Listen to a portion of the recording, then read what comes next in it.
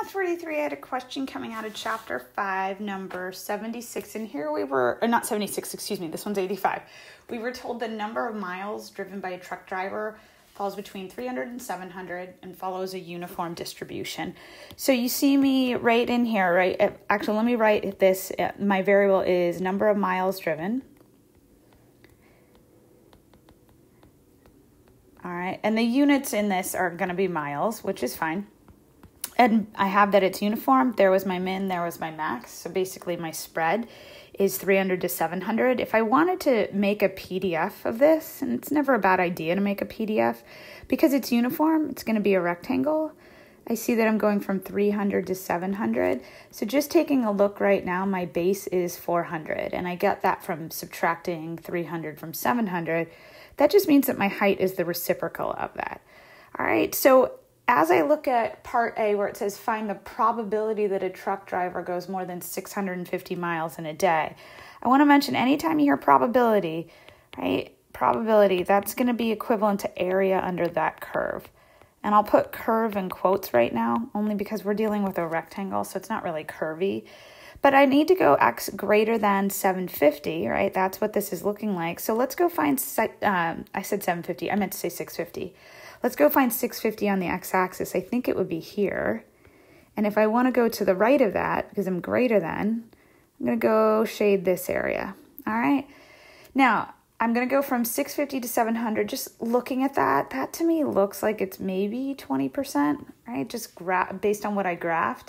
It's definitely less than 50, right? I think this would be the 50th percentile. So I just like to get a, an idea of what that number should be before I go crunch any numbers officially. But anytime you want to calculate a probability, it's always base times height. Our base for this problem is going to be 700 minus 650, and that's going to be 50.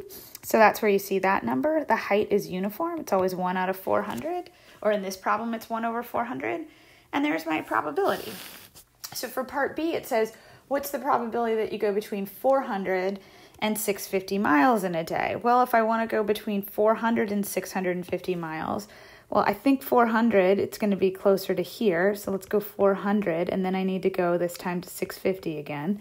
But I want to go and get this area under the curve.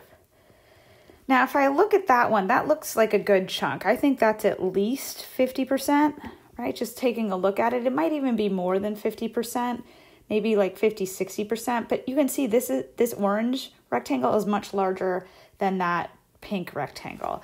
And I was off on the pink rectangle, right? I initially, you can see it right here. I thought 20%, right? And it was really only 12 and a half, but it's just me sketching a graph. I still knew it was on the low, knew it was on the low end. And for the 50%, I am going to be a little bit off, but again, it's just giving me a baseline. So here we go. We need to go base times height, right? Base times height. Well, my base now, my new base, excuse me, my base here is going to be 650 minus 400, so that's going to give me 250 for my orange base. And that's why you see the 250 there. And the height, it's uniform, right? So it's 1 out of 400, 62%, right? Or 62.5%. Now, again, this number, it's a little bit off from here, but it's close enough. I, I, I'm happy enough that I knew it was around 50% and I got 63% here. That's great.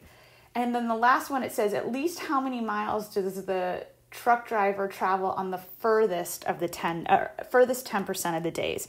Okay, so now let me go in here and erase some of the things that I have. I want to be real specific about what I erase. So let's take a look at how this is going to roll. All right, so let me get rid of all of this stuff and see if I can get rid of a good chunk of this. All right, wait for it. Ooh, that was too much. Wait for it. There we go. I'm getting there getting there, getting there. Okay, so I just want to start clean and fresh without erasing my original PDF. And let me erase these. Okay, so if I want to talk about the furthest 10%, right, because that's what it says, the furthest 10% of the days, you want to figure out what number is here so that the furthest 10%, because furthest means the miles are the largest, right? I want the top 10%.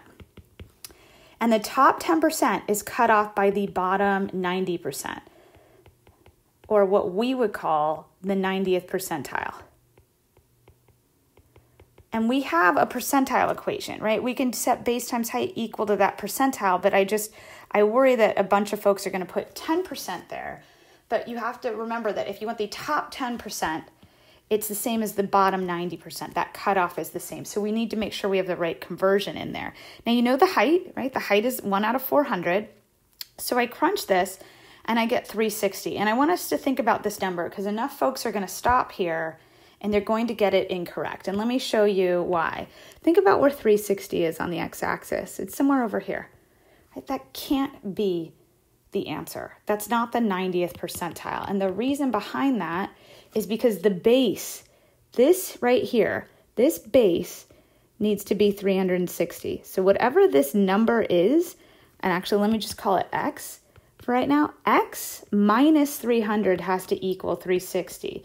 So x minus 300 has to equal 360 because I need the base to equal 360. So really x is 660.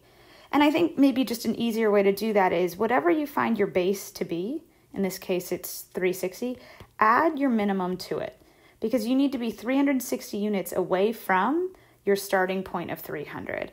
So, really, what you're looking at here is that the truck driver travels at least 660 miles on the furthest 10% of the days. All right.